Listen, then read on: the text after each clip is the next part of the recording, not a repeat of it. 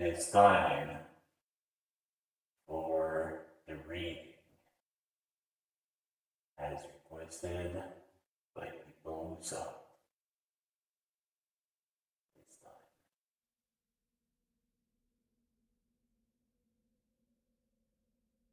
It's time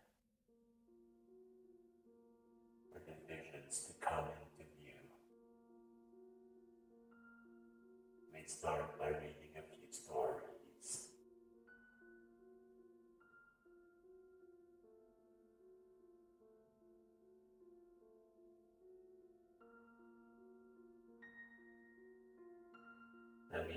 you the story of the clone. I will be reading it as it is written, in first person, even though this did not have to be. When I was young, my family and I would go visit my grandmother every Saturday. Her name was Jerry, and she was excellent. She would let me stay up past my bedtime, cook me what I wanted to eat, and bought me anything I ever wanted. She would also comfort me when something in my life went wrong, like my time my best friend died in a car crash when he was driving home after a party at his friend's house. I always loved to visit her. Every day, I would daydream about her next visit. That was always case. Until that day, I discovered the truth about her. You see, there was one thing she never allowed me to do go into the basement. She always told me that it was dark and creepy, and that was where she kept all her priceless possessions. As a kid, I would obey her thinking she simply didn't want me accidentally breaking any of her accessories. She would put a huge metal lock on the trapdoor, and I would watch her every time. I had to know what was down there, and one day I got the chance. I was one of our family visits as usual. Everyone had gone to get food, I was left behind since I was in the middle of a game. I quickly paused the game and ran to the trap door.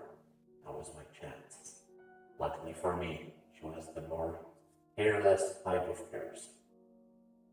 I wasn't surprised when I saw the key hanging right behind the trapdoor on the coat hanger, checking that the coast was clear. I quickly grabbed the key and sprinted carefully back to the trapdoor and inserted the into the lock. The lock opened with a click, and I took the lock out, gathering my nerves, and entered the trapdoor and closed the door behind me. When I turned around, I grasped in horror. I couldn't believe what I saw. There were no items or anything for that matter. The room was bathed in a blood red glow that came from several red lights on the ceiling. The only piece of furniture that I could see was a blue wooden chair in the middle of the room. My heart started beating when I saw that someone was being bound by the chair by two metal chains. As I moved closer, I could make out who it was. My mind couldn't believe what I was seeing. It was Sherry.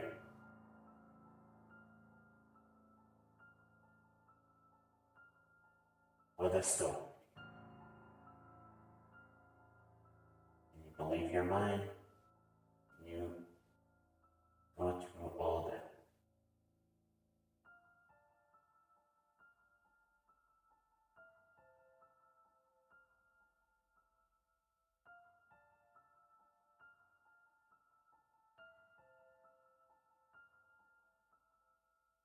Let's see what other story can we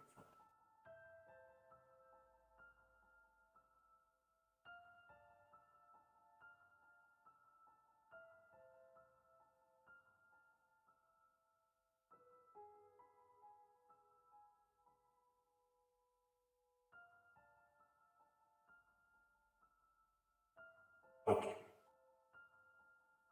The following was a blog post by John Goodman, posted on the 17th of August 2011. Included with it was a download link to $1.wave. The following question has been converted to OGG format so that it can maybe uploaded to the wiki. Goodman mentioned in the post that you would be doing extensive research on the mysteries surrounding this file. If you report anything back, it will be posted. This will be read in first person as the other. After my computer got burned to a crisp in a lightning storm, I was left with only my old computer. Fortunately, I had everything from my destroyed computer already backed up onto USB drives and CD-ROMs. Hello, Mr. Opieman 100. Welcome to this read. My old computer was running Windows 98 and desperately needed an OS upgrade. It was time to search online for a new OS install disk that was at an affordable price. You might ask, why not just get a new computer? I would have, but because of the crappy economy, I don't have the money to do so. So my only other option was to upgrade my my old one. Anyways, I just need to get some stuff of the way. I searched around eBay to see if anybody was selling a copy of Windows XP at an affordable price. There was no way my old computer would be able to handle Windows Vista or 7. So I would just have to go with XP. Lo and behold, somebody was selling a full Windows XP clean installed for only $1.45. Nobody else was bidding on it, so I placed mine. Even after I had placed my bid, nobody else did. Needless to say, I won the disc with nobody else to challenge me.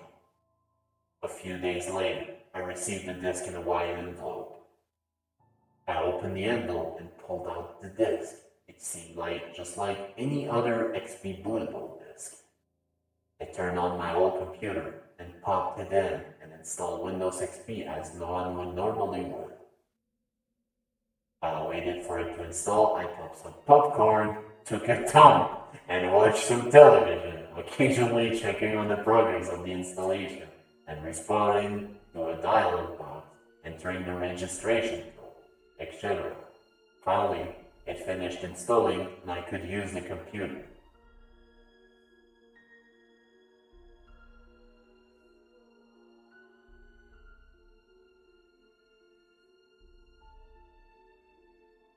The red is on purpose. The first thing I did was transfer everything I had backed up from my destroyed computer to the old computer, CD after CD, USB drive after USB drive.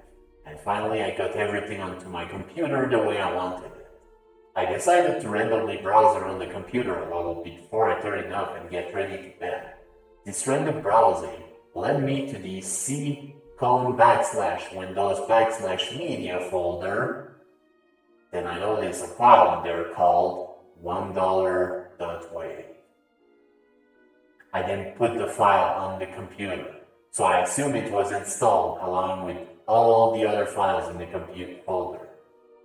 But I realized I didn't remember any such file ever being included with XP when I had added on my destroyed computer before upgrading it to Windows 7. Curious? I double clicked the file to open it. It was a very peculiar file. All I heard when I opened it was some weird static noise, almost as if it was some extremely distorted sound. The file was just four solid minutes of this weird sound. It kind of creeped me out. I mean, it was nighttime when my sleeping dog be my only company, and I found a file on my computer that I never put there and wasn't part of the original XP installation. And all it is is 4 minutes of weird static. Furthermore, it's in the system folder. Thinking it might be a virus of some sort, I scanned the file. Behold, one Trojan came. I had no clue where I would have gotten it from. I'd barely been on the internet at all since Windows XP was fully installed. Suddenly, I realized I'd seen a file with the same name flash for a split second on the screen as the disk installed all the system files. I could only one, come to one conclusion. The disk had been tampered with. I decided to delete the Trojan, delete one $1.wave, and do a full system scan with both of my antivirus programs, Malwarebytes Anti-Malware and Microsoft Security Essential. It was going to take a crap load of time to finish scanning, so I decided to go to bed while I waited. I still felt a bit mad that I went through all the time to finally get my computer set up and upgraded the way I wanted it, only to find out that the install disk had been temporary. I woke up the next morning, ate my breakfast, took a shower, brushed my teeth, and went into the computer room. I sat down at my computer and turned on the monitor, which I had turned off last night before I went to bed. I couldn't believe what I saw. My desktop background had been changed to a picture of a dollar bill. There were two errors saying that my two antiviruses had crashed, along with a bunch of other blank error dialogues that were all titled $1.wave with a single OK button. Every icon on my desktop had been replaced with the shortcut to $1.wave, even the recycle bin. My start button now said $1.wave, and the usual flag icon was replaced with the dollar sign. When I click the start button, or in this case, the $1.wave button, to bring up the $1.wave menu, every icon there was also replaced with $1.wave. The administrator name was changed to $1.wave and the account picture that was of a dollar bill. I clicked Don't Send Reports to both the error saying Malwarebytes and Microsoft Security Essential had crashed. I then click the OK button on each $1.wave error box. OK, the screen was cleared of all those windows now. I tried to reopen the, uh, my antivirus program, but they both gave me a blank error titled $1.wave. I clicked OK on those. I went to the $1.wave menu, clicked shut down, but I got the familiar clunk error sound. I tried the power button. Nothing happened. Finally, I just unplugged the computer and it finally shut off. I plugged it back in. I booted in safe mode and tried the opening antivirus programs there. But when I did, my computer made the weirdest noise ever and abruptly powered off. I tried pressing the power button, but nothing happened. It didn't even whir up. That freaking virus had completely destroyed my only remaining computer. And I hadn't even gotten it from a website or anything. It had come with my operating system. Well, there was that. I had to go get some things at the grocery store, so I left the dogs along with my dog. I had yet to earn enough money to buy myself a new computer. I do everything computer related on a friend's laptop that he generously let me borrow when I need to check my email, do something on my bank account, online, etc. I have used that same laptop type up and publish a story to the internet along with $1.wave, which I have gone through and manually removed the malicious coding from. After a certain cryptic message I read about talking about some last evidence that will have to be destroyed if I share it with anybody, which you will read about in just a moment.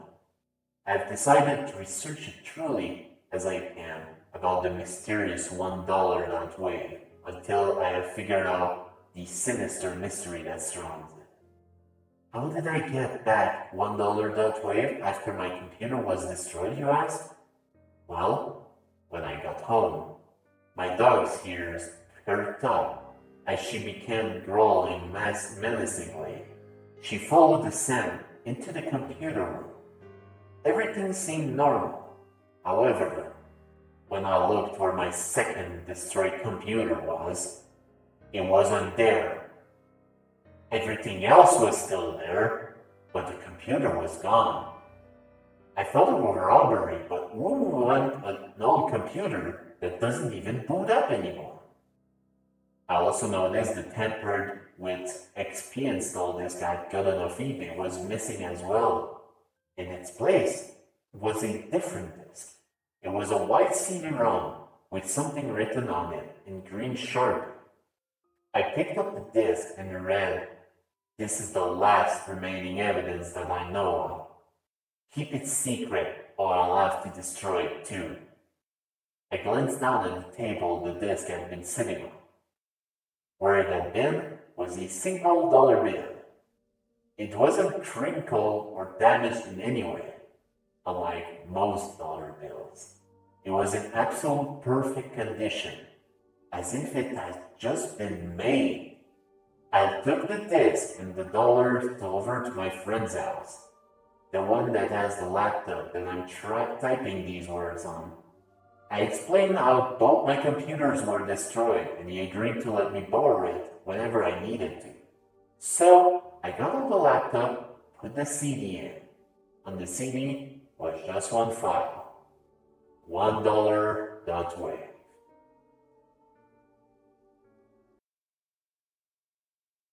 Okay, let me just. Uh, let me just pause for a second. Oh my god. I do need to drink some water. Let's uh, resume in a few seconds.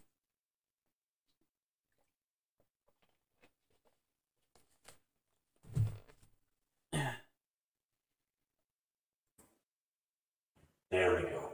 Everything is better now. Told.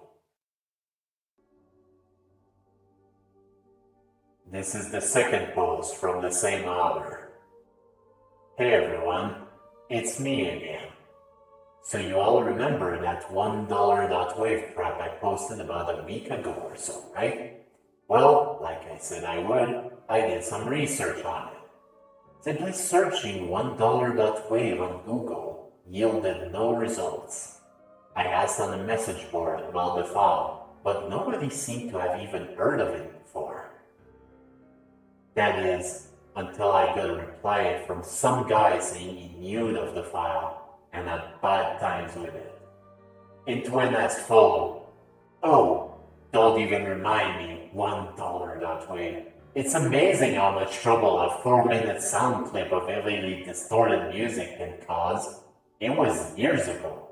Some person on Craigslist was selling a computer with Windows XP already installed on it. At the time, Vista was still in beta and 7 didn't even exist yet. I went to her, house in Cleveland to pick up the computer. I brought it home and turned it on I noticed a WAV file in the C colon backslash Windows backslash media folder entitled $1.wave. Curious, I opened it and listened to it. It was nothing special, perhaps a little creepy, but it didn't interest me. I closed it and went to the bathroom. I came back to the computer and I could not believe what I saw. Everything was changed to dollars or some crap and a bunch of error titled $1.wave. I tried using antivirus to fix what I instantly took as a virus, but it wouldn't open. I tried turning off the computer, but it wouldn't turn off no matter what. The only thing that worked was unplugging it. I tried to boot in safe mode and use my antivirus there, but upon trying to open it, my computer made this bizarre noise and shut off and refused to turn back on. I don't mean refuse to boot into the OS. I mean literally just would not power on, as if it wasn't plugged in. The next day, my computer was gone, with just a single dollar bill in its place. I know it sounds insane, and you probably won't believe me unless you had a similar experience with the file yourself. Cleveland. eBay had told me that the item location was in Cleveland, Ohio. I now had a new mission. Track down the person that sold me the install disk. Welcome to this reading, Lisa Lisa. I replied to him saying that I had indeed had a very similar experience and requested he give me the exact address of the woman that sold him the computer, as I wanted to have a little talk with her. I probably sounded like a stalker, but I didn't really give a crap. I needed to figure this out. Surprisingly, the user actually sent me the address of the woman to me in a private message. Living in Ohio myself, Cleveland was not too far away, so me and my dog went into the car and drove off. We arrived at a small yellow house that could only be the home of the woman who sold me the install disk. I walked up to the front door and rang the doorbell. A woman almost instantly answered the door. She seemed to be an elderly woman, short and stout, with white hair, tied up in a bun. Then I looked into her eyes. Oh, those eyes. They seeped through me into my soul, hungrily examining it, seeing if it was suitable to feast upon. I almost sprinted back to my car and drove off right then and there, but I couldn't. I had a mystery to solve. Why, hello, John Goodman, said the woman in a menacing voice that shivers down my spine. My first thought, oh dear, she knows my name. Oh God, please help me. My dog growled tremblingly at the woman. It took all my courage to finally her out. Look, I don't have time to, for fooling around. What is one dollar dot wave and why did you put it in my Windows XP install disk? Oh, I can't tell you that, cackled the woman, who I now was certain was up to no good. Why not? I countered angrily. Because, said the evil woman. However, I can tell you this. Beware in the days that follow, for one dollar will haunt until all is over and before I could say another word, the woman shut the door on me, cackling wickedly. I had no other choice but to walk back to the car. Now, along the way, a man came by and asked me, What were you doing over? I was talking to the woman that lives over in that house over there, I replied. The man's expression became concerned. Nobody has lived in that house for over ten years. I looked to the house, but instead of the bright yellow cheery house that I had seen when I arrived there, there was a crumbling, abandoned foundation with a wooden plank nailed into the front door saying condemned in green letters. But, but I was just talking to an elderly woman that lived there a minute ago, I argued. All the colors drained from the man's face elderly woman? Yes, I said. You know, with her hair all tied up in a bun and whatnot. The last person who lived there was an elderly woman, always having her hair tied up in a bun. But she's dead. So I didn't actually find out much of anything new about One Dollar Dot Way, but apparently it was created by a ghost. Interesting, but it's no laughing matter. I realized at the moment I saw that dang woman out of the corner of my eye, giving me that freaking soul devouring stare and smiling like a maniac. When I focused on her, she disappeared. I then proceeded to sprint out of the room and hide under a blanket for the rest of the night. When I dared go back to the, to the living room, A dollar bill lay on the floor where the woman had been.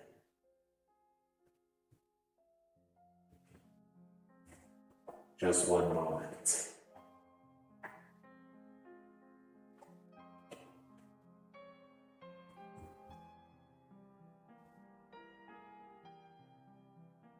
It's time for Goodman's post on $1.wave. It's official that old Dag is stalking me. Since my last post, I've been catching glimpses of her out of the corner of my eye, always with that soul devouring stare and demented smile. She always vanishes as soon as I focus on her and it always has to be at night when it happens. Each time I get the heck out of there and hide under a blanket for the rest of the night, when I dare enter the room again, there's a dollar bill where the woman was. I have actually collected all of the dollar bills she's left for me, beginning with the one that came with the last evidence disc into one wallet I've gone 30 days straight without sleep because of this crap. In the most recent incident, she was even holding a bloody knife. That was enough encouragement for me. I packed up a few things, and me and my dog piled into the car and went to my friend's house. Unrelated, I haven't told you my dog's name yet, have I? Her name is Coco, as in chocolate Coco. Anyway, how I was saying, I told him everything that had happened I kept it secret because I figured if I told him, he'd think I was insane. But at this point, I really had no choice. About one dollar dot wave, the old guy that seems to want to kill me for some reason, etc. I expect them to say I was crazy and call mental institution, but miraculously, he actually believed me. I guess he knew I wouldn't make crap like this up. So, I'm going to be staying at his place until this situation blows by. Tonight, my friend glanced out of the window, and all the color drained from his face, and Coco growled menacingly at it. I looked out the window and I saw it. That blasted old bag. She stared into the room from outside with that soul devouring stare and that same demented smile. Then she disappeared. We didn't need any more encouragement. We pulled down those blinds and nailed boards to every window in the house, as well as the front and back doors. I don't think we'll be going outside for a while. Let me just replace a few things here. It should hopefully be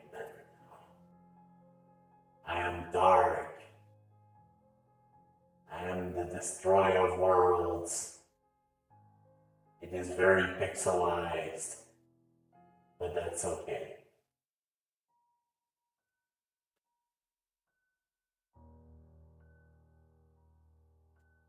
I went on my friend's laptop and checked the forum thread I had posted asking about $1.wave. Someone had replied there under the username $1, and guess what their profile picture was? That cursed old hag face with her trademark soul eating stare and demented grin. Her reply said simply, Oh, more evidence. Guess I'll have to destroy it.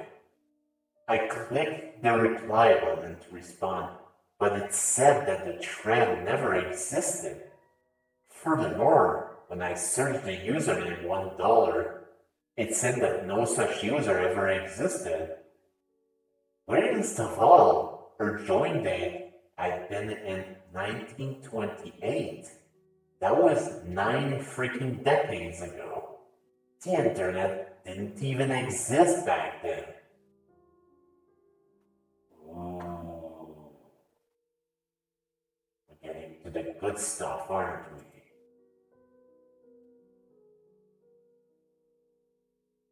While on my friend's laptop, a dialog box suddenly appeared, prompting me to download $1.exe. Knowing this could only be more of the hold ags on thing, I canceled the download. But guess what? It downloaded anyways. Ain't that just nifty? As soon as it finished downloading, it opened itself up. I prepared for the worst. Another computer destroying virus. The whole bag contained with it a computer file.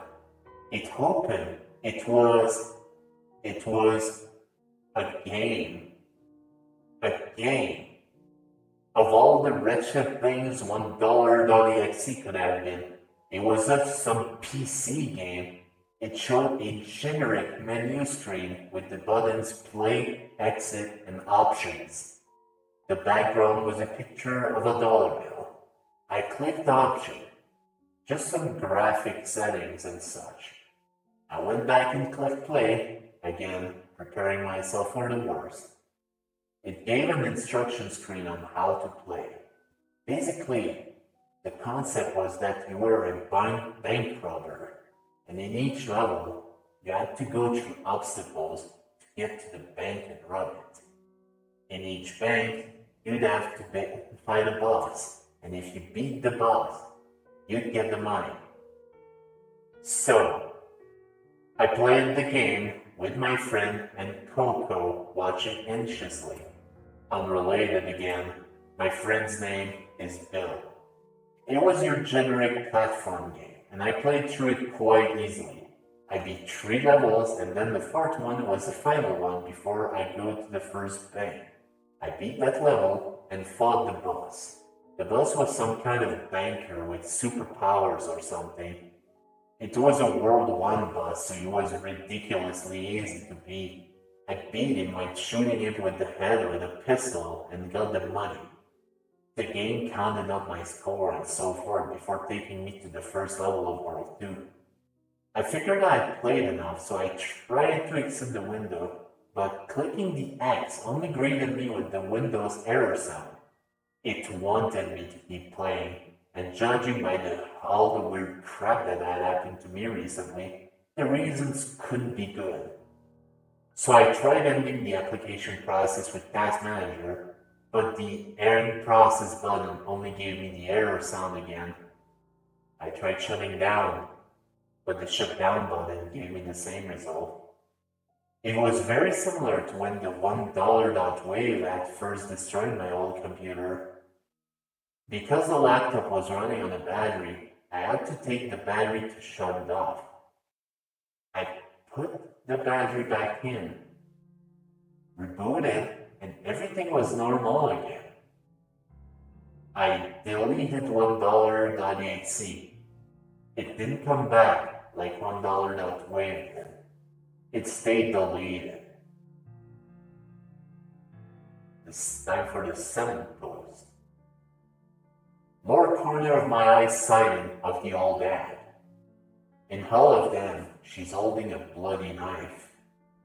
Boarding up her windows and door doesn't seem to help. She's still got into the house. Today, we unboarded the front door to go and get the Sunday paper, even if we're hiding from a sadistic ghost woman who wants to kill us. We still gotta keep up on the news, right? It said that a banker had been found dead at the local bank with a bullet wound in his forehead. It showed a picture of the man, and to our, and to our horror, it, he looks exactly like the World 1 boss from $1.exe. The way in which I had defeated him had even been a pistol to the head, and the paper said there was a bullet wound in his head. As I read the paper, I saw the whole bag again out in the corner of my eye, holding a dead corpse under her arm that looked just like the banker. This time, I didn't focus on her. I focused on the paper. To see what would happen if I didn't make her disappear. If she tried to kill me or anything, I'd just look at her. She just kept standing there, with that demented smile and soul-eating stare. After a few moments, her smile began to fade and turn into a frown. as if she was disappointed that I didn't seem to notice her. I looked to Bill, and surprisingly, he had followed suit. Even Coco was pretending not to notice the ag. I turned back to the paper so I could continue seeing the ag out of the corner of my eye. It wasn't easy, trying not to see something yet see at the same time.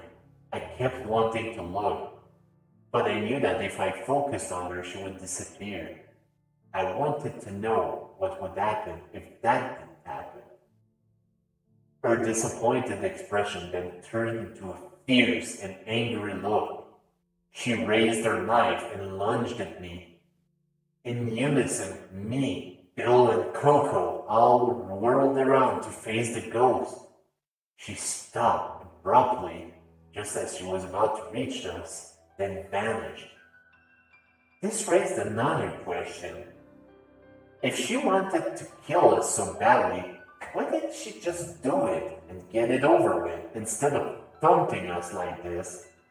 Maybe she doesn't want to kill us.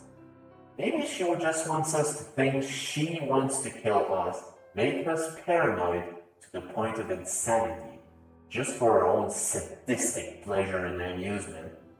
Sure wouldn't surprise me.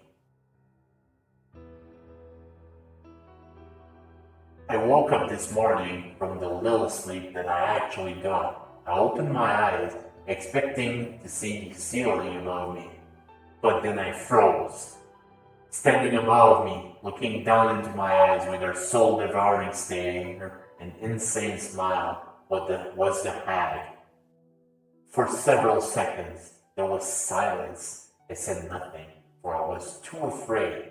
I didn't move. I didn't even breathe. My heart threatened to burst. If it was pounding so hard, then finally the hag broke the silence. Good morning, John, she said menacingly. It took all of my courage to respond. Just tell me what you want and I'll give it to you. Just leave me alone, I replied. It's just so sad when you have to live under a curse, the curse of my own creation. First to pass on the curse to others, the curse of one dollar, of greed. I never asked for this, but having it shown downright true so much, I've come to enjoy it. I'm not sure if it's my sanity that has been pushing by this, or what, but it comforts me to know others are feeling the same pain as me. Enough of your cryptic crap, I yelled, and then suddenly Coco jumped out of nowhere and tackled the hag to the ground, growling furiously as I welcomed Tango's drink to the stream. The hag just smiled. Go ahead, do it! Rip me to bloody shreds! It might just be the only hope of destroying this horrid curse once and for all. The suffering will be gone, and everyone who has ever fallen victim to great villainy. Before another word could be said, Coco began tearing that woman to bloody shreds. I never knew my dog could be so violent, but I didn't care. If it meant the end of the terror that loomed over us, it was worth it. Me and Bill, who had been woken up by all the commotion, could only watch as the hag was torn apart. She didn't even scream. In fact, she smiled, as if saying, Thank God it's finally over. And then it was done. Her body was mangled and ripped so badly you couldn't even recognize her. Blood was splattered everywhere. Then the body, or the pieces of it, anyway, began to shimmer and fade away. And then they were gone. No trace of them remained as if nothing had happened. Then we noticed a note laying on the floor where the hag had been. Bill picked it up and read it aloud. Destroy the dollars, destroy the discs. Do it before the remnants of the curse that lie within them enslave you as it enslaved me. I instantly knew what I had to do. I found the wallet that I used to keep all the dollars the hag had left me, and I lit a match to it. A blood curdling scream of pain sounded from it and almost made me jump out to my skin. I threw it outside and it burned until it was but ashes dust. Then I found the disc containing one dollar dot wave. I threw it to the ground and stomped on it. Another blood curdling scream, and the disc spontaneously burst into flame. Now that is what I call burning a CD-ROM. It burned until it was nothing but a bunch of melted plastic. I had to use a shovel to scrape it off the ground and chuck it outside. For the rest of the day, nothing else happened. The hag never came back. Nothing. I think at long last this nightmare may be over but I won't make assumptions too quickly. I'll wait a while, see if anything else comes up. If nothing else does, I guess it's safe to assume the hunting on one dollar.wave has ended. Oh boy.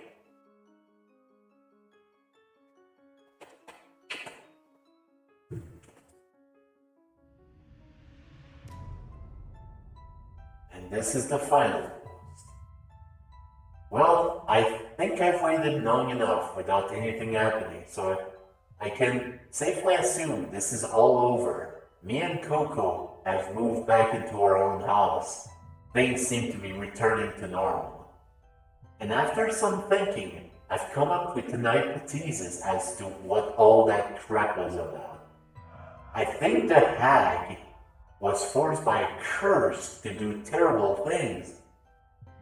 The curse was like a virus, using her to spread to others. I guess one dollar that way, and all associated things are all duplicates of this virus. I can only assume its proper name is greed, since that's what the hag kept referring to it as.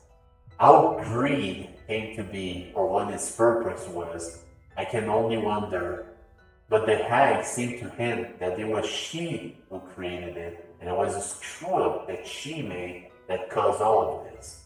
I guess those dollars, the disc, and the hag were the last remnants of greed, and by destroying it, I destroyed greed forever. She was so anxious to get her hands on evidence and destroy it because she wanted to destroy the curse of greed. I don't know whether any of these guesses are even remotely correct, but I don't really care. As long as this nightmare is over, I'm content with not knowing. And I'm damn certain it's finally over. You think so, huh?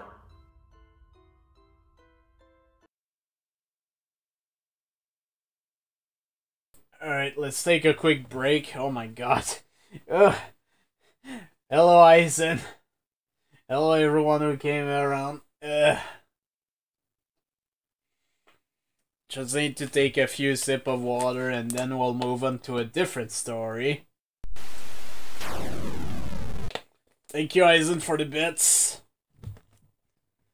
Very appreciated.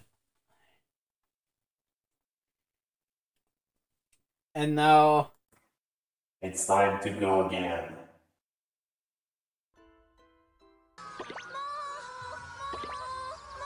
How inappropriate, Opie, but thank you for the bits.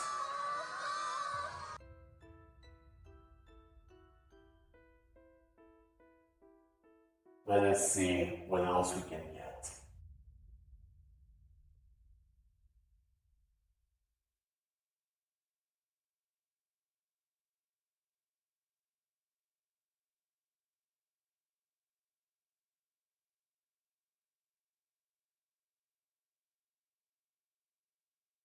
Alright.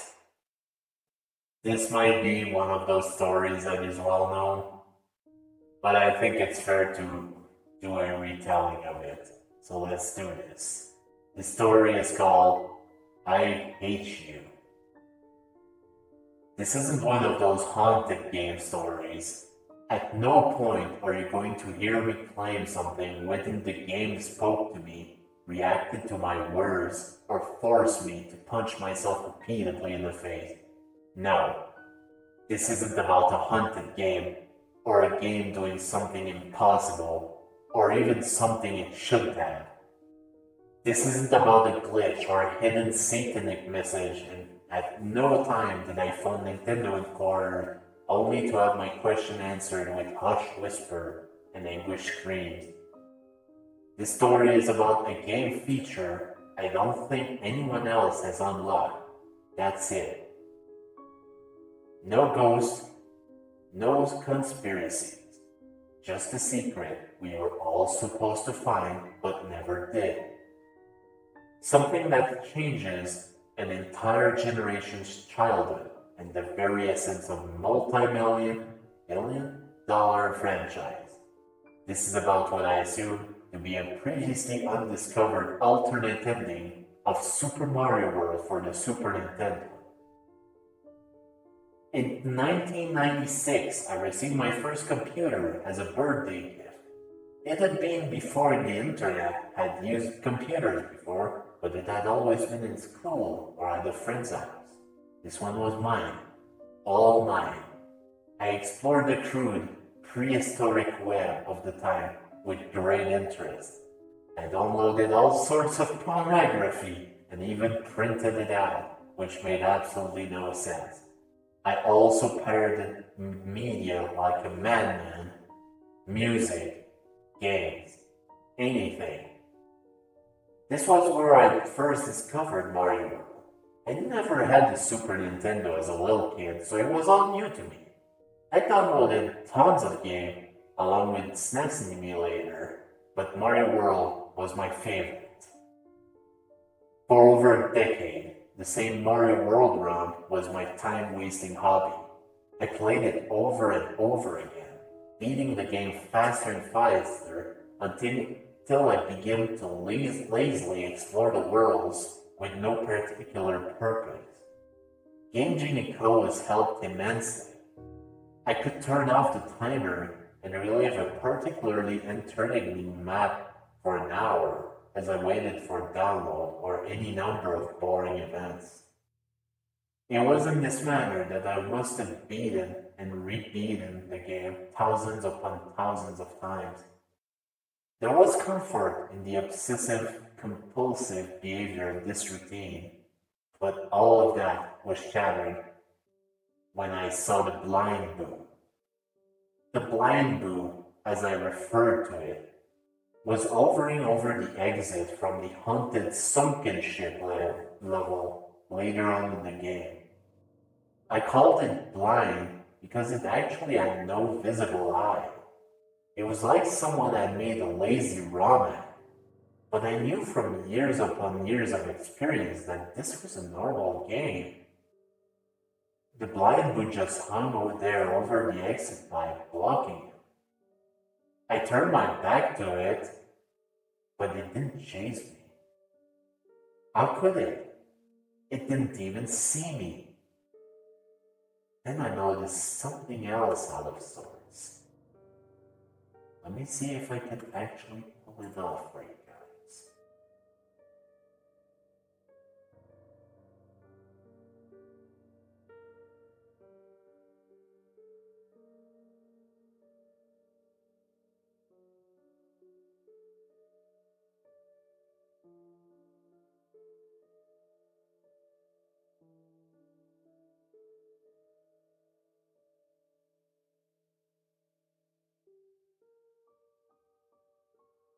This is what was seen.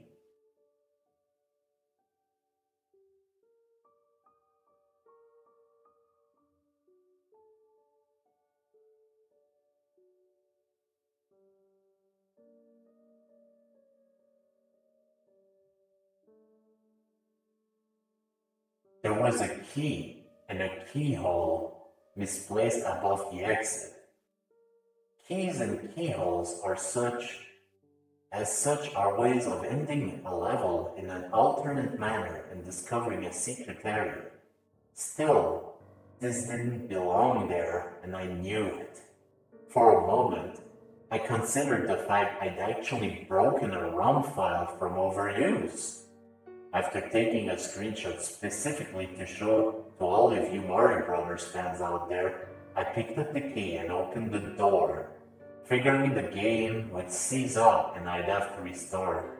Instead, it opened up a new path on the map selection screen. Let us show this once again.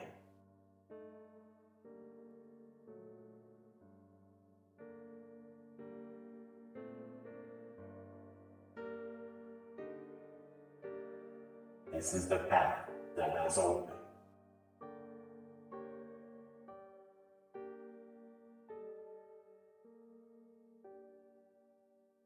A whirlpool next to Bowser's already creepy head thing. I pressed the right arrow and moved onto the whirling drain, and there was yet another new thing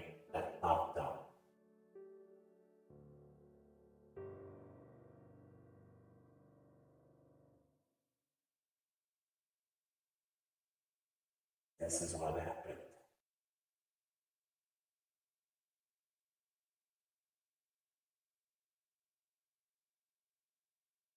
Oh god, no.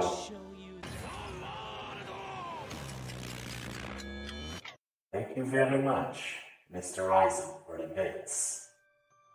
Oh god, no.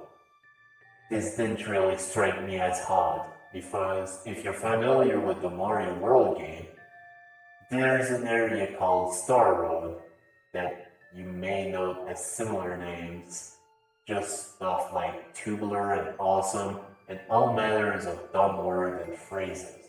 Most of the areas were called Vanilla Forest and Donut Mountain 3 and all that, but there were maps with other names like that. What did concern me, though, was Mario's expression surprise, shock, fear. I entered the map.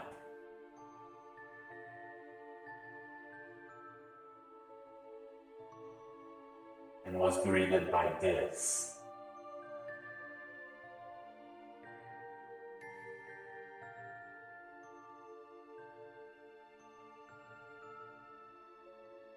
Oddly enough, the whirlpool in the middle of the lake began with the standard castle entry animation.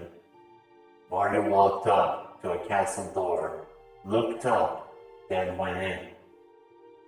Welcome to this reading, Zaichin. I could tell it was underwater though, because of the bubble that periodically emerged from the sprite's mouth and floated up to the top of the screen.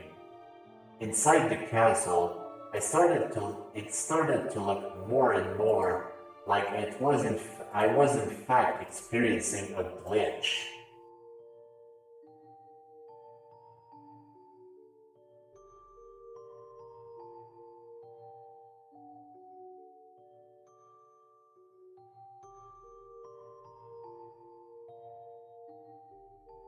There was no room to jump, no room to do anything but run left and right.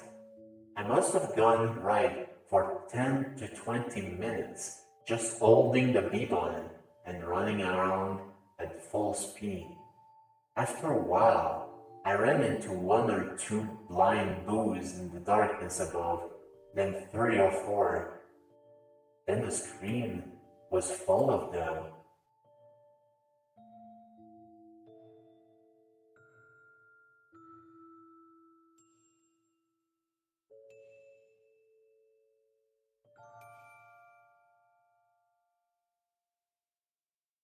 They just kind of hung there, doing nothing. They wouldn't chase me if I turned my back, as with the previous blind boo. If I made any noise, like Mario's jump sound, for example, they would just kind of shudder a bit, like they heard the sound of Mario's movement. but couldn't do anything about it. Then something made me stop and turn the other way around. Now I knew beyond a shadow of a doubt that this map was designed specifically to screw the player. Not because of the giant bleeding bill was emerging from it profusely from his face, but because it was inescapable. There was literally no way to avoid being killed by it, as you can clearly see above. That is, unless you're like me and you have Game Genie cheats on him. I switched on the code for permanent invincibility.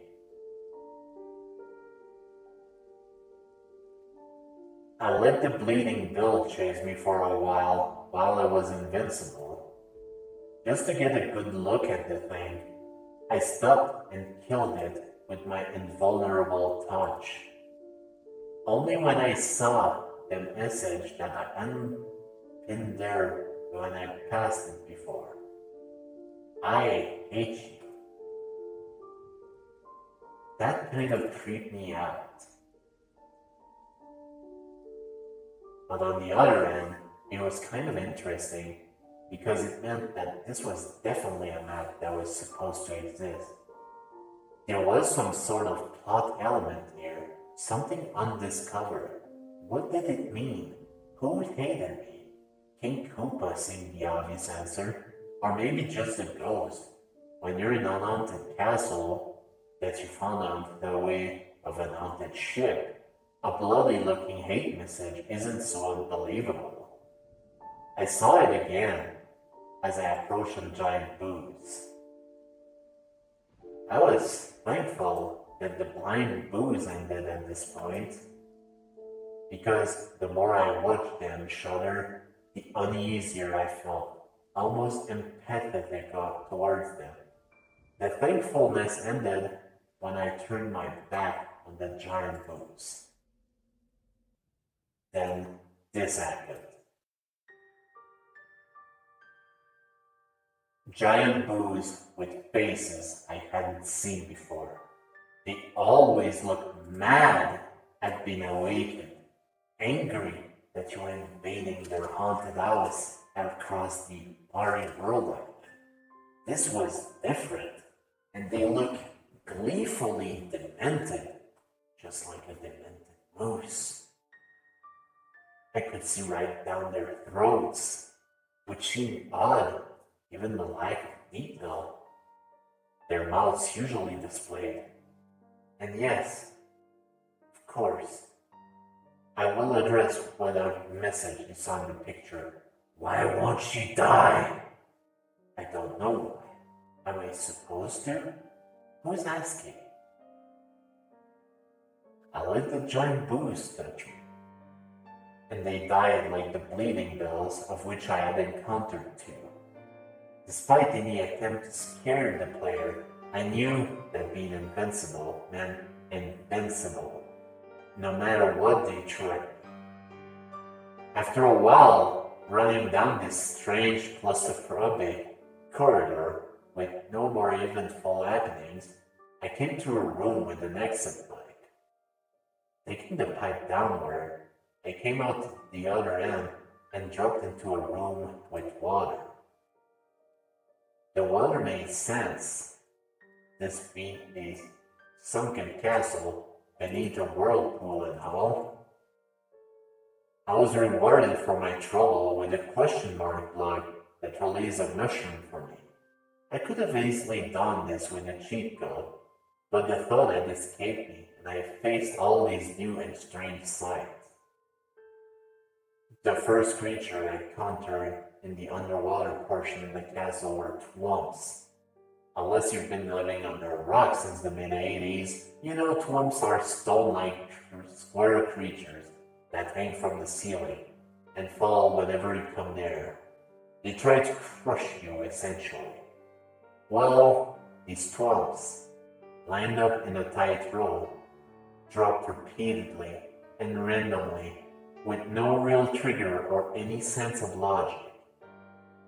They would just wait or drop whenever they seemed to feel like it. It also looks like these tombs had been very successful tombs. More cartoony blood. This was getting pretty unusual for the Mario Brothers franchise, which I hadn't recall seeing blood in at all. Now, I've seen it used three times. The bloody bills, the message, and these perpetual smashing, grinding Thwomps were both working their victims into pulp.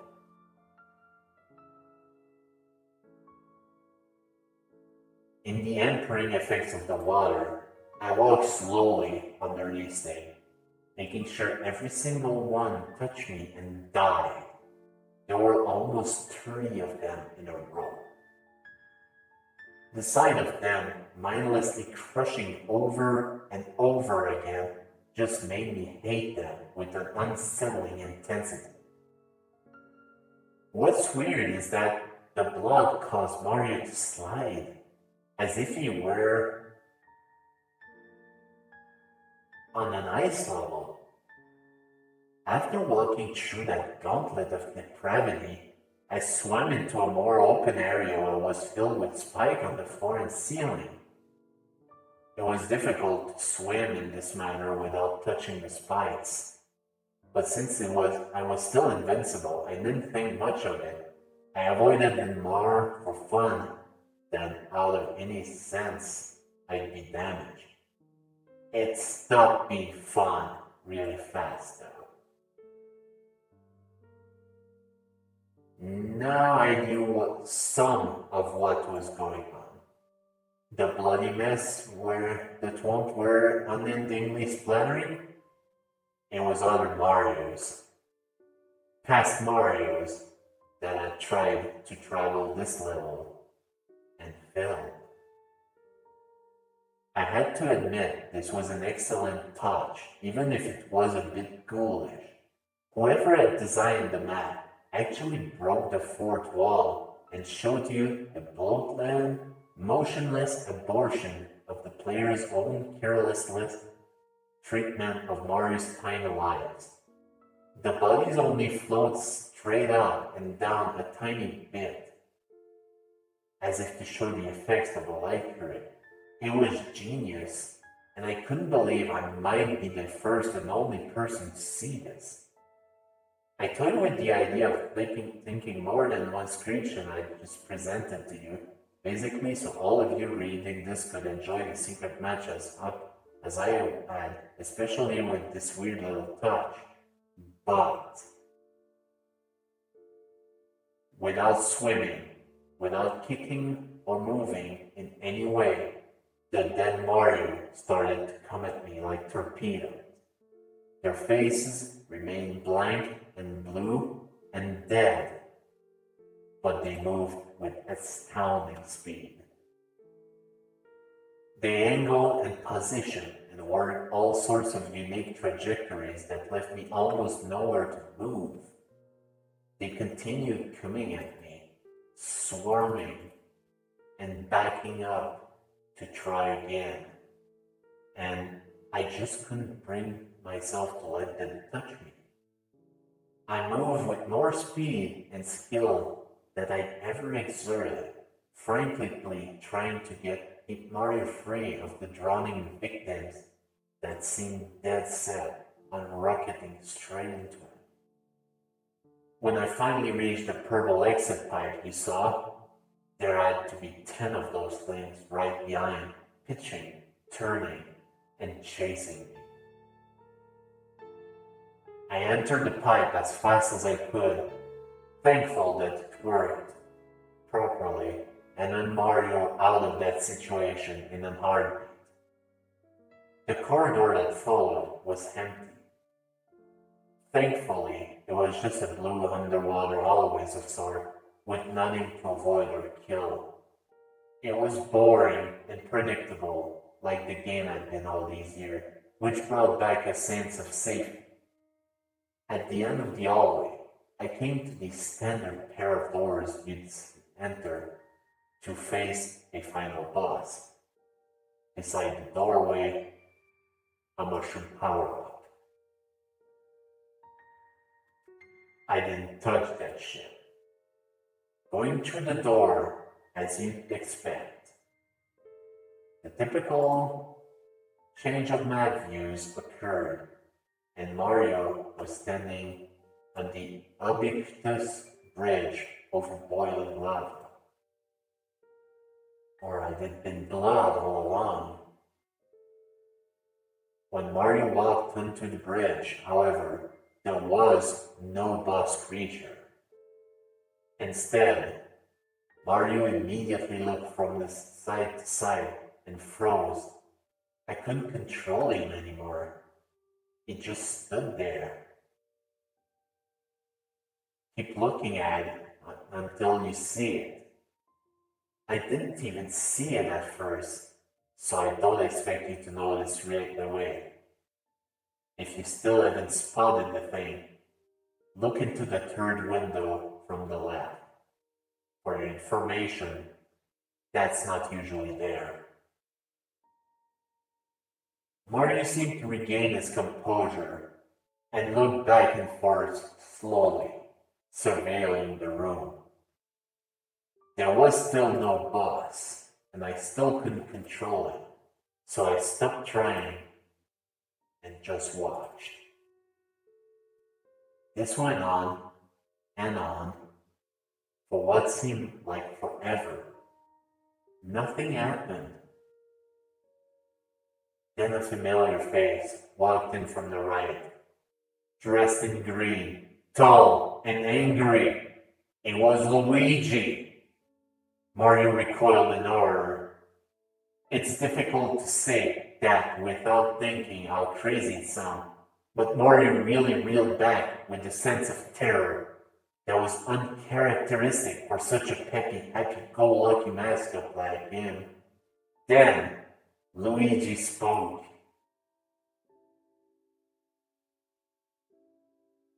You thought Koopa worked alone? It was all connecting now. The message scrolled on the wall. I hate you. And why won't you die? Luigi. It's always been Mario second banana. The player two. The one who doesn't get the princess in these early games. No matter how identical he is to Mario in skill set and ability and tenaciousness and bravery, at the end of the day, the game is Super Mario Brothers, and he's just the brother Oh, he must have hated Mario. Who among us wouldn't? Think about it. No matter what happens, Mario always comes back. No matter how many corpses he leaves littering the battlefield, he's always there once more to leap and cheer and get all the adoration. And Koopa didn't work alone?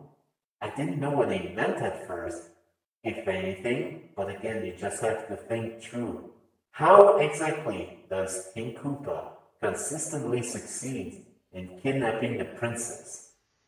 From day one, from the original Mario Brothers on War, it had always been an inside job. Still unable to control the character. I watched Mario simply cower in fear as Luigi leapt into the air as high as he could in Mario 2, the bastard child of the franchise. He jumped on the pathetic, weeping Mario again and again and again. I was powerless to stop it.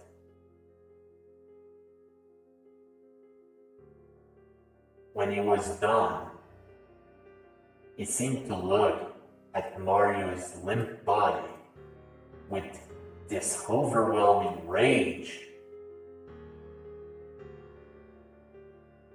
Then the bridge started to disappear. Soon, Mario would be dead. I had, as I looked on, I had an irrational thought. Would it be permanent?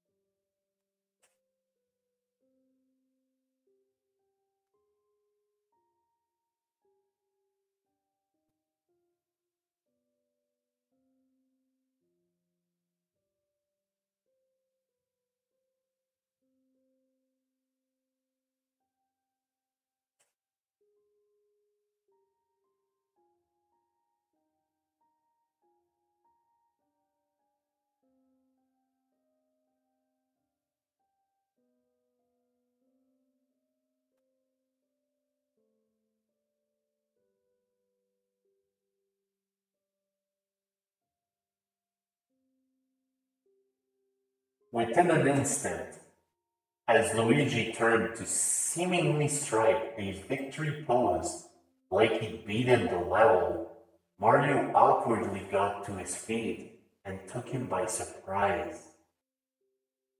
Fear and sadness and confusion had given way to anger, and Mario overpowered his brother with no effort.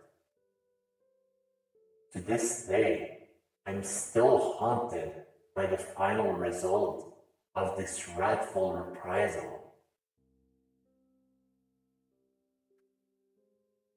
There was the map's title. None of this was a glitch. None of it was a mistake. It wasn't a developer getting back at Nintendo, and it wasn't a ghost hunting a Nintendo cartridge. It was a plan supposed to part of the Mario Brothers mythos. If you beat the same level X number of times, a secret path of the world open, and you learn that from Mario Brothers to Mario Land, Luigi had secretly been working against you and was in fact facilitating the repeated abduction and abuse of the princess. But why? Money? Power? No. It was all there. Because he couldn't take not being the one in the spotlight not being Mario himself. And Luigi died. Well and truly died. Mario just sat on the edge of the bridge and wept. I was forced to watch this for minutes on end before the screen faded to black. I played the rest of the game though, just to see if anything else changed. Nothing else had happened, as one would expect, since the whole ordeal was just supposed to be part of the actual full story. I couldn't access the whirlpool again.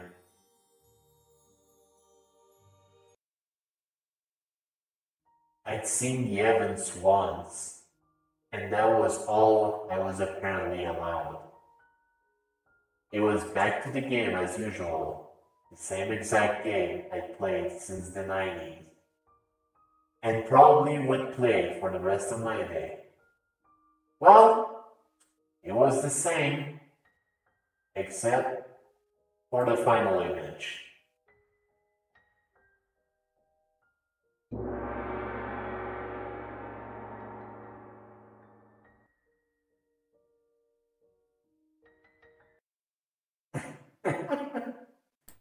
What that well time gong actually the story just ended.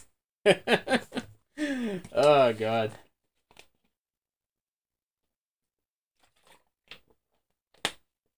Oh my god. Yeah, exactly perfect timing, actually. Oh boy. Ugh. Oh boy. Alright. I think we can do at least one more. Let me see if I can find anything else. In the meantime, uh, since I haven't really had time to really speak to everyone that's here, how is everyone doing on this fine evening? Might as well do that while we look for the uh, the next story we're gonna do.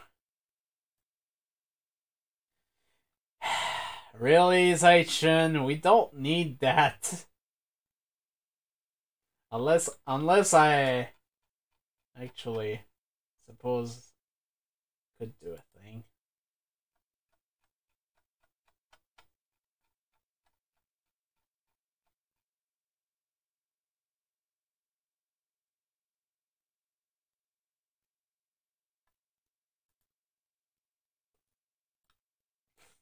Ugh.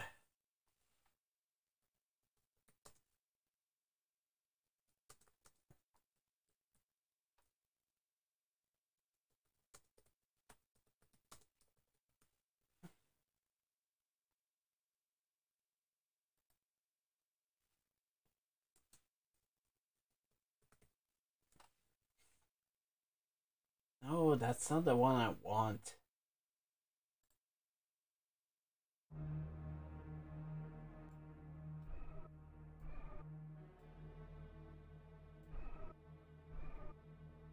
Alright.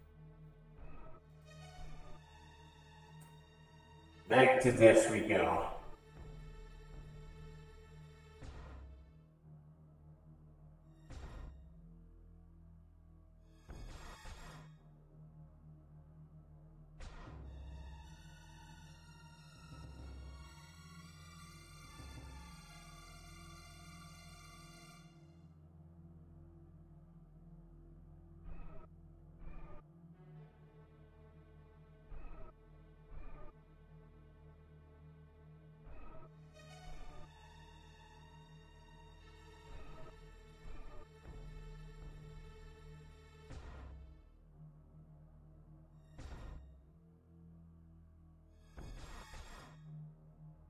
Me just a second, everyone.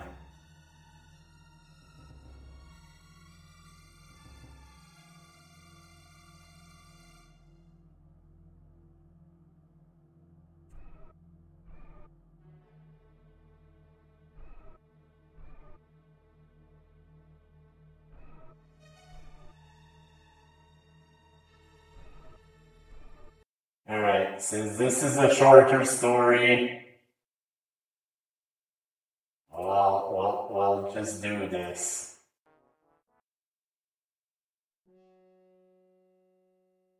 Once, I tried, I, I wanted to watch some SpongeBob SquarePants, so I turned on my TV. I was in luck. There was an episode on right now, and it just got to the last part of the intro. I was wondering which episode it was playing, and I saw the title The Story of Squidward XXXX. The background was Squidward smiling at the screen, although it looked more sinister than normal. The bubblies flooded the screen and the show started. Squidward was dancing in his room when SpongeBob suddenly burst into the second floor window. Hi Squidward, hi Squidward, hi Squidward, hi Squidward, hi Squidward. He began to shout over and over using his goofy voice.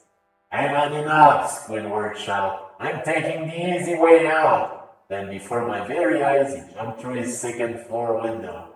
The show fades to black when he goes jumping out. Then words appearing on the screen. This is the story of Squidward.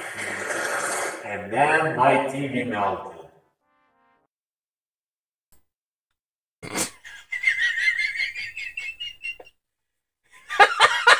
What was that story? that wasn't even creepy whatsoever.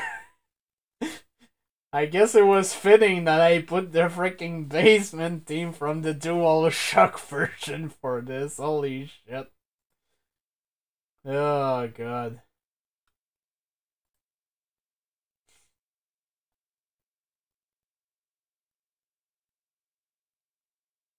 Oh my god.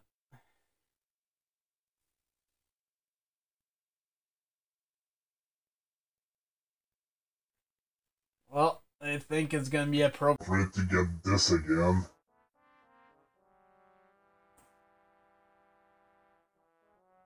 This one is called Slenderman Get a Job.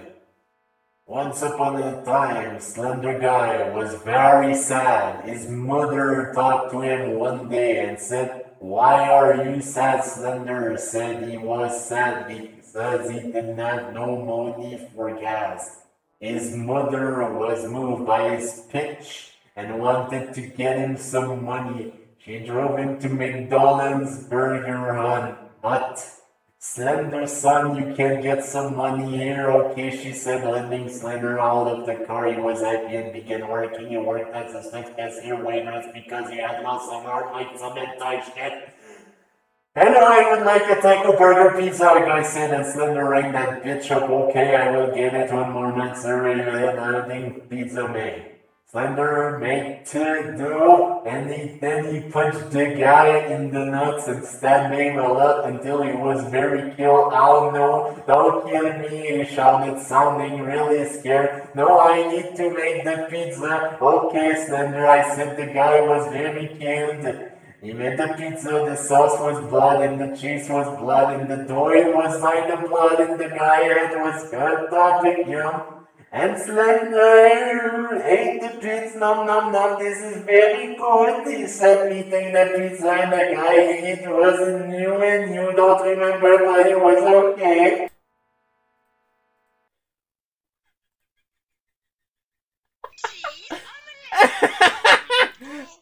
You, Eisen, for the For anyone interested, this is this shit I was reading.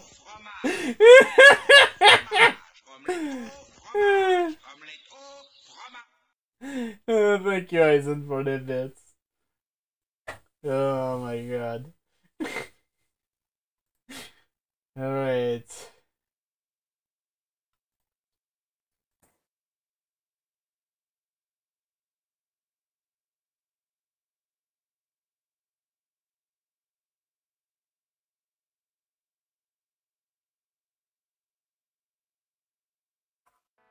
I think this will be appropriate once again. This next story is called JoJo's Casual Trip Part 2 Retard Tendency. I'm sorry, I'm sorry, this is the name of the story. So familiar the events of my last journey, which indeed has do been chronicle as JoJo's casual trip Obama said not to talk about how I saw him smoke weed. I decided I would. This is my story. So I woke up at 9, 93 billion 929 million 873,624 years after the events of part 1 which I will refer to as Phantom Come. I cried because my good friend Taiko Marissa the fifth had been killed by Obama. I decided this is it. I will fight Obama.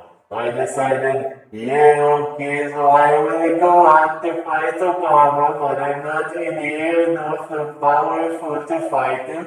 So I met a man named Ted Cruz, and he taught me the ancient art of monkey. Monkey gives you the ability to channel your inner primal and go full chimp on any old me that wanna do it with you. After gradually second of instant painful training, I finally mastered it. I was now truly monkey. And I was not out.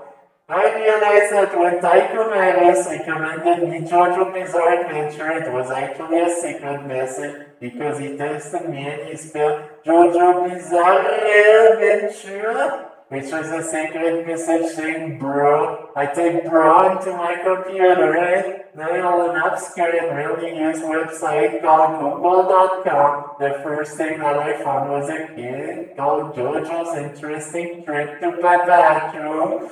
I decided, yeah, I would watch it, but then I fell asleep, and I don't up, I saw an horrifying picture on my computer screen. It was Black what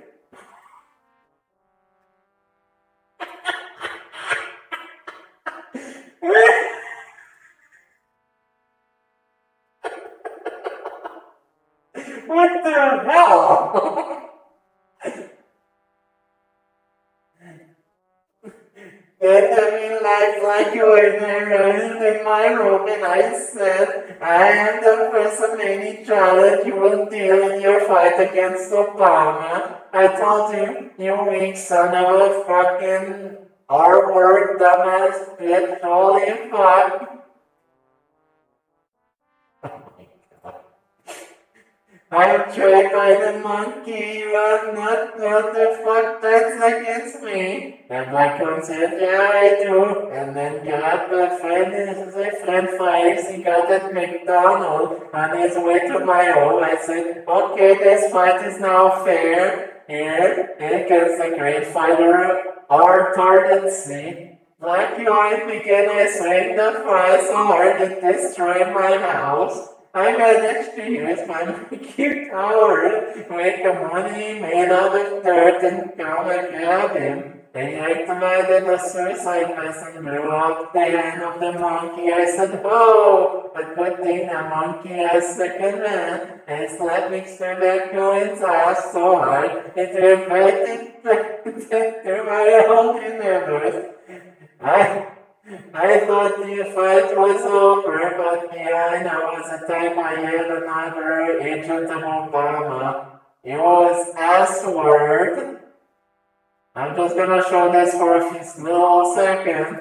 He turned a sharpie marker into my back and in my spine I was paralyzed. And then I saw someone come down from heaven and beat his ass until the blood came out of it. This man, this man who saved my life, this man was Gordon Ramsay. I played him back with a bottle of cheap sauce and perfectly cooked black you and me. Had. Stay tuned for part three, those bunny crusaders.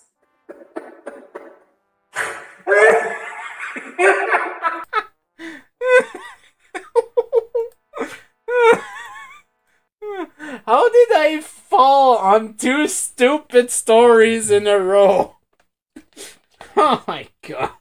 I posted it in chat.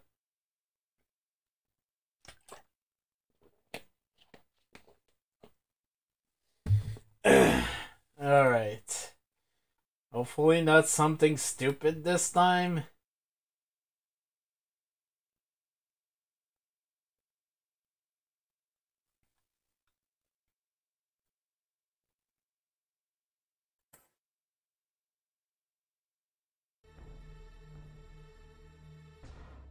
Have you heard about the Australian scientist and techno composer who smeared yogurt on a CD to get different sound out of a CD because of the bacteria? Have you ever wondered how to fix a movie one watches on a DVD? Trust me, you don't want to find out. And yeah, that's the whole thing. oh my god. Let's uh, let's see. No, not that.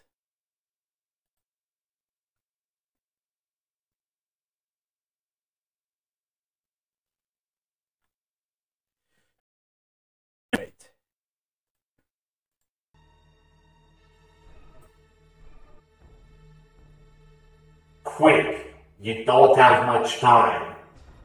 Get to your nearest hand mirror, not the ones on your wall. They won't work. Okay, now prick your finger. Drip three drops on the mirror in the triangle formation. Go into a room with no windows and turn off the light. Do you see me? I'm the demon in there. Don't worry, I soon won't seem this way. My mouth will be open, and you need to make an offering. Nothing too big, just an earring or something. Apparently, the internet decided to crap out. This is pretty great. I'm glad. I'm glad the internet is crapping out. But this is fine. Now, don't be mad, but I must bite. You will start to dissolve. Don't be alarmed. The process is long, but relatively painless. I should mention that I have done this countless times. Once your whole body is gone, you will materialize in my home. Once here, you will not find the door that leads outside. You will also not find me. You're welcome to anything in my home. But if you don't do this when I enter your world, you will die over and over. Your death will be your material body reassembling itself in my home over a span of years. A painful and reverse process of your initial dissolution. You will serve no purpose but to feel pain. Why am I telling you this? Because once the human race is gone, you will be my new pet. And trust me, if you don't go to my house, will be sure to kill you slowly and painfully in your house right now. Time is of the essence, Pat. Do this for me. I'm lonely. And the billions before you are reassembling and useless to me. Because they didn't heed my warnings.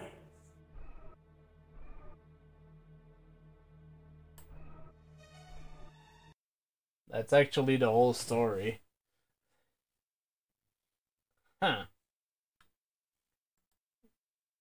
That one was kind of genuinely creepy.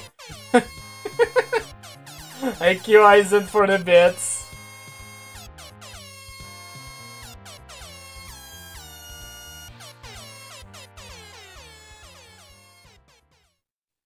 Alright.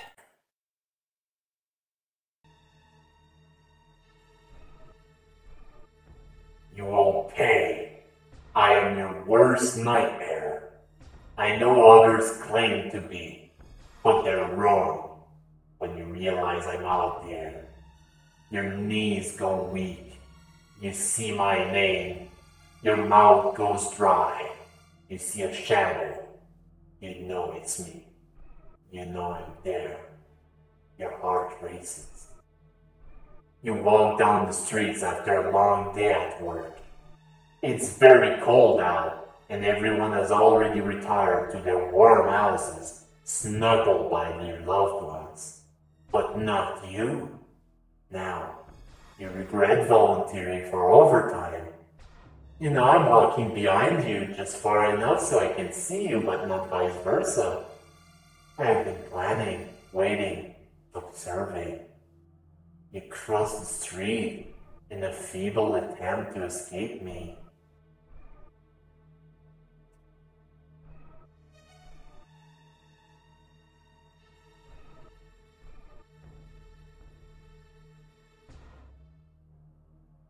My internet finished dying, so let's continue.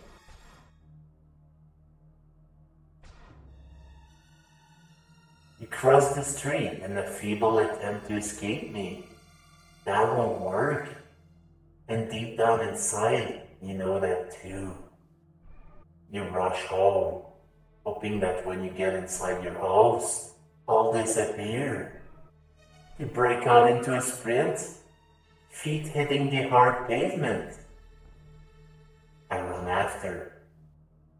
We're like in a chase. Will I catch up? Or will you escape?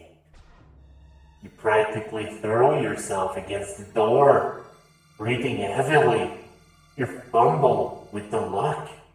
You get in and slam the door so hard that the burnout light bulb in the kitchen regains power. You slump against the door, safe, safe until tomorrow. For I will get you, Mr. Mailman. I will get you. Signed dog. So all this time it was actually a dog trying to chase the mailman.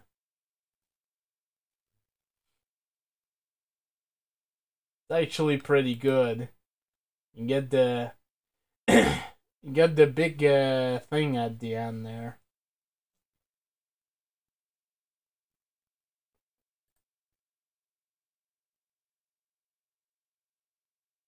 Alright, let's see if we can... Oh god, okay.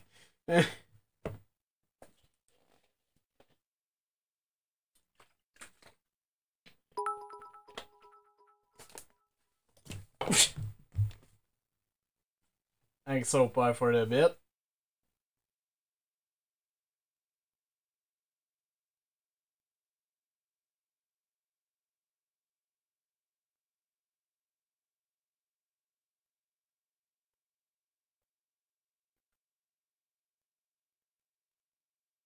Alright, I think this is another one. Uh...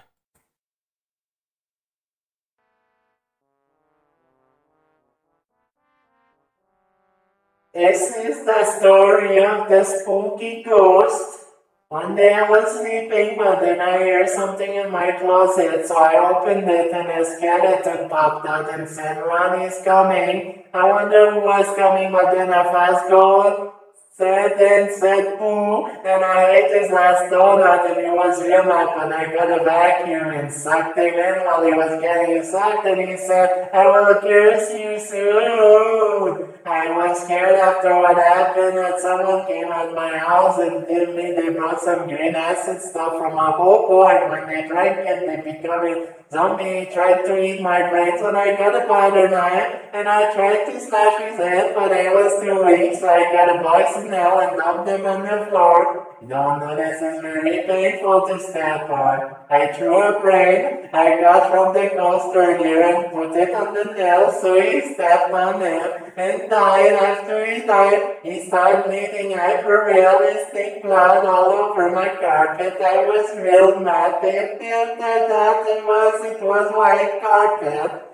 After that, I decided to buy a game from some creepy old dude who was selling Super Smash Brothers for the Atari. I remember this game from my childhood. I used to always play. If I asked how much it costed, he said you can have it for free because it's haunted. I said, okay, went home. I put in the console in my cartridge and I saw the characters select screen and everyone was unlocked. I decided to play as Mario. I decided to fight Samus when the match started because I put in vacuum kill Samus and I tried fighting it to kill me in one hit and so I said I was cheating. And the characters screen Samus and Mario and crossed off. I played as everyone until they all died. I couldn't select everyone except Luigi. I wasn't mad with the code, but everyone went behind me and they had every realistic plot, which is weird because the graphic couldn't be on Atari. So I got this fat ball and it vacuum that will smash. After that, there was a doll of the. He still onto the cartridge but it was scared of me, so I decided to sell it along with the doll. I went to sell the haunted cartridge to someone, and I realized that it was Buddha in this, uh, and I've been doing the whole day. Remembers the donut I ate mentioning, and Buddha's let me go eating the last donut. After that, decided to sell the cartridge on eBay for ten dollars and the doll for seven dollars because I didn't want to smash. I got it a cartridge at all because I would have been a waste of perfectly good money. After I came out and ghost, they found out it said your next year. Yes, they meant I would become a ghost. Once again, for anyone curious, this was this.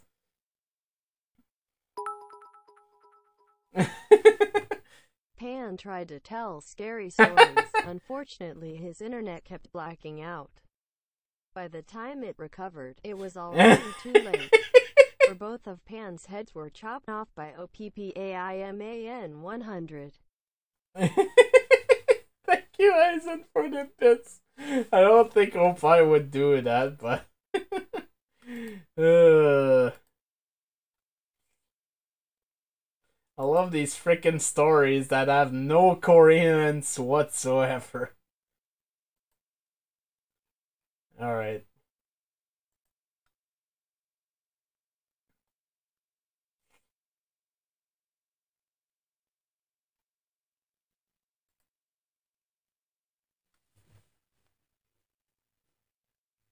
Oh my god.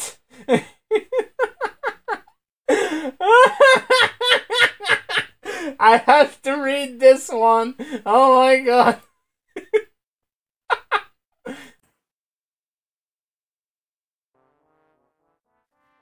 They're fucking room. Ah, so I got the DVD of the room, and it was horrible. I saw a scene that was so scary that I had an anal probe, so the movie started off normal, or you can call it that, but when Tommy said, You're tearing me apart, Lisa, Lisa did some bad thing. She got Tom by the arms in the pool and she ripped up his arms, but there's blood everywhere. And Lisa turned into a monster. The monster she turned into was scary. It had blood coming from the mouth and had people in fell on her arms.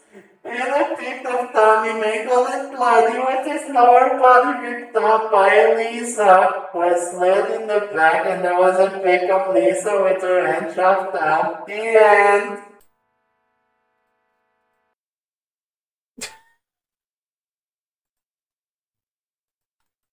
Oh, don't tell me the fucking internet died again. Fucking Christ. This was the story.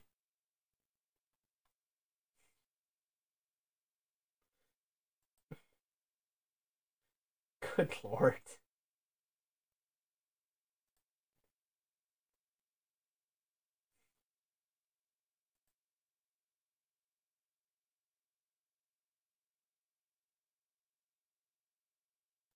Alright.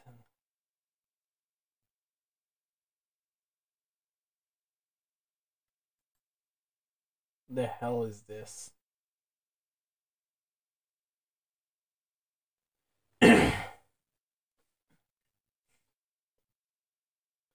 Alright, I guess it's another one of these then.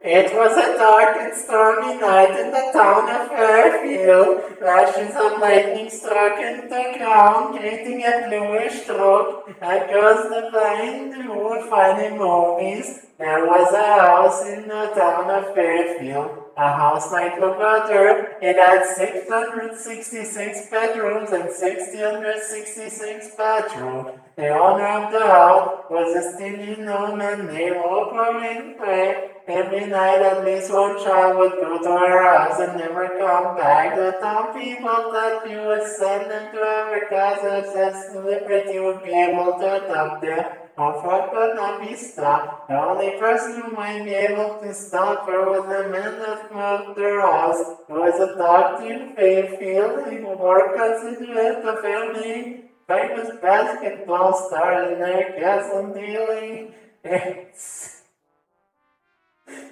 What the fuck?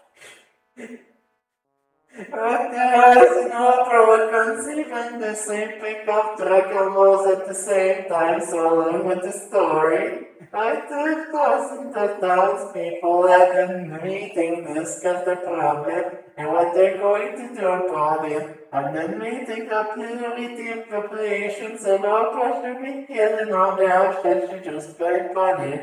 They all decided to let. Oz make decision. Dr. Oz had very hard time making decision. They decided to go with instinct and kill. Later that night, they snuck into one of the bedrooms, gun in hand, a bottle of hand soap. And soap. He walked locked the radios trying to find Crow was sleeping and he spotted a purple door. Yes, and that was where she was. I closed open the door, shut the gun, and ran down the house and left the house. A couple days later, he drove flower across the he saw her outside altering the glass. He hired the master and looked away at Brandy. Both Rose never shot and she said no, since the gun showing her, yeah.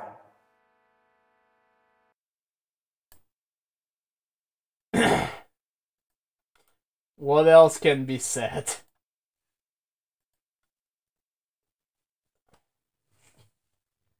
Good lord.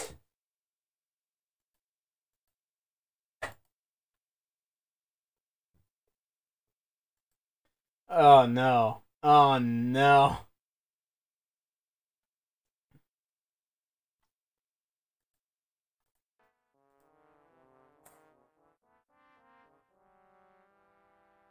I like Action 52. It's the best game ever in my opinion. After my NES broke, I bought a new one along with the new Action 52 copy. And I opened it. I saw there's a 53 game named 666. I opened it. I saw a verifying image. I continued. The verifying image became closer and closer until it came on the screen and killed me.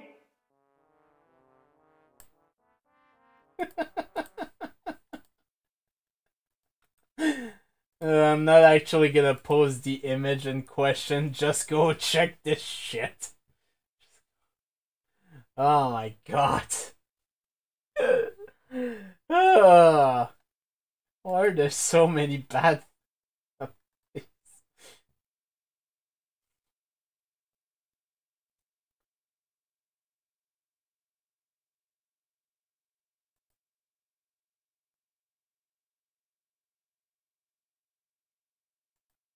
No, no, no, no. Let's not do that.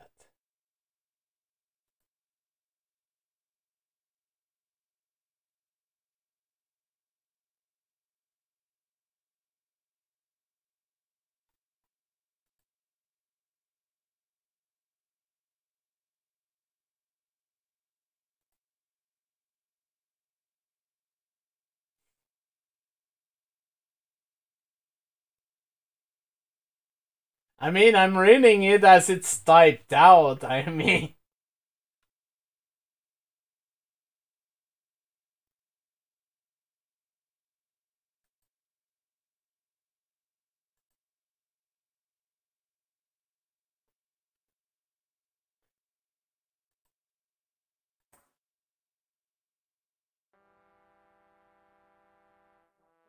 I am a big Cuphead fan and me like games. So one day my friend me a game called Cuphead.exe. I know a games with exe on it mean that it will kill me, but I am genius about video game. I call my he answered. He said, hello puppy, what do you want? I said, hello Jerry, do you want to play co-op in the exe with my cousin's two player? He said, okay, so we dive into my living room and we play Cuphead.exe and we lost the game because it was scary. It said exe instead of it was spooked out. And the game started showing one tick, only crooked dancing covered in blood.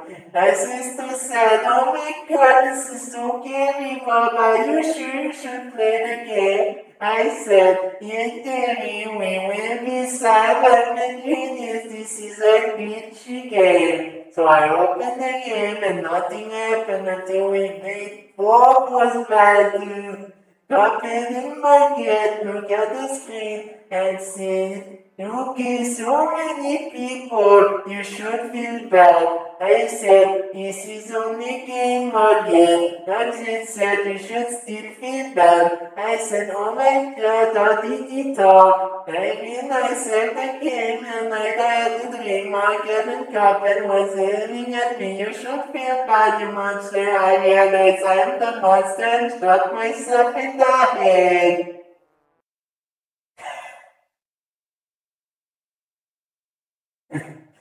Well, actually, it's both, but you know.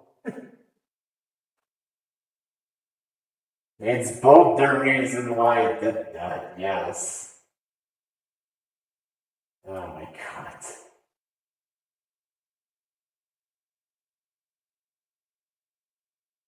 god.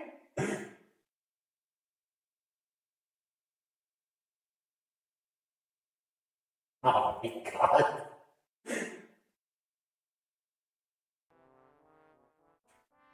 There was one time a guy was a murderer. He thought to kill lots of guys, so he did. One day the man tried to kill a guy, but it wasn't a guy, he really was a monster. So the man went home and was sad for his murder. He said never kill more guys, so he didn't except one guy. It was his girlfriend, who was not knowing about his crimes. And then she was dead, so he had his car. Can't you see the Sierra the right? Oh no, he might get you.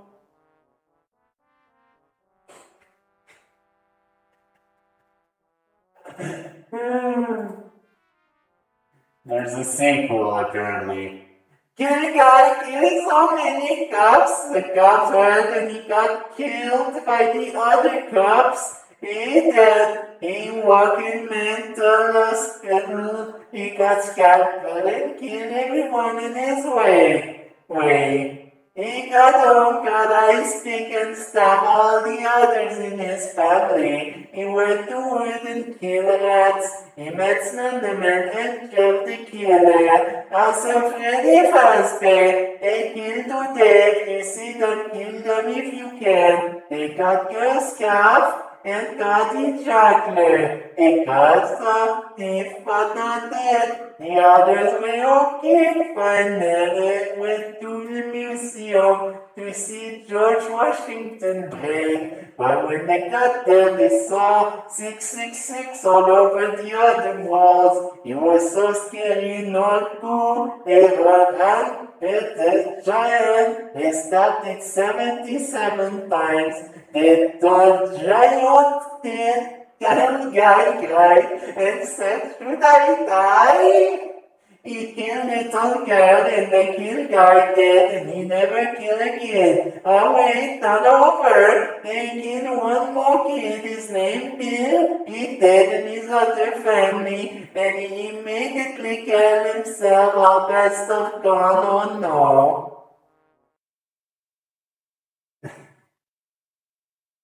I mean, what do you think I was doing? Oh my god. Thank you, Anonymous, for the bits.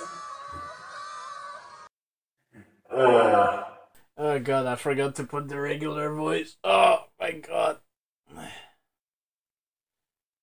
Oh, jeez.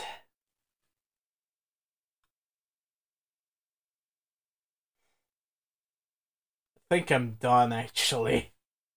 I I've been doing this for over 2 hours now. Uh All right. Uh me actually let me actually try something here. Let's see.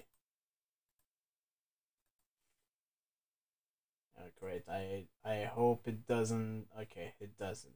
Good to know. Um.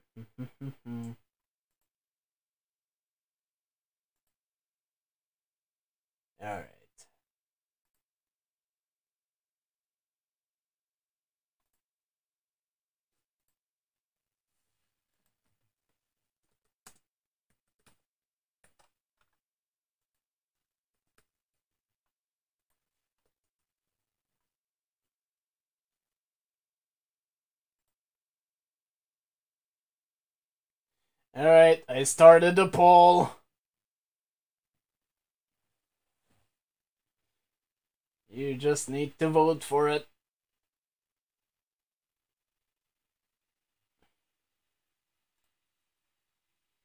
Nobody's voting.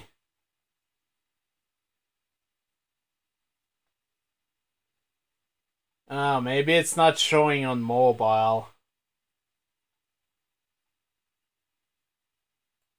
Which would suck.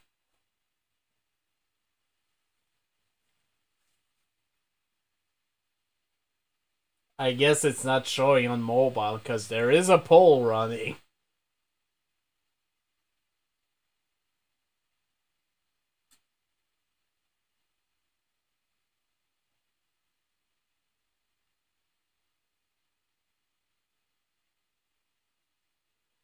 And no vote wins by one vote, so I guess we're done for the night.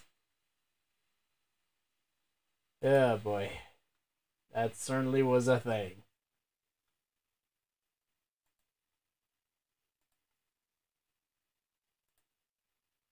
Alright. Well, that certainly was interesting. I'm probably not gonna be doing this again for a very long time. So, thank you everyone for coming by. Uh,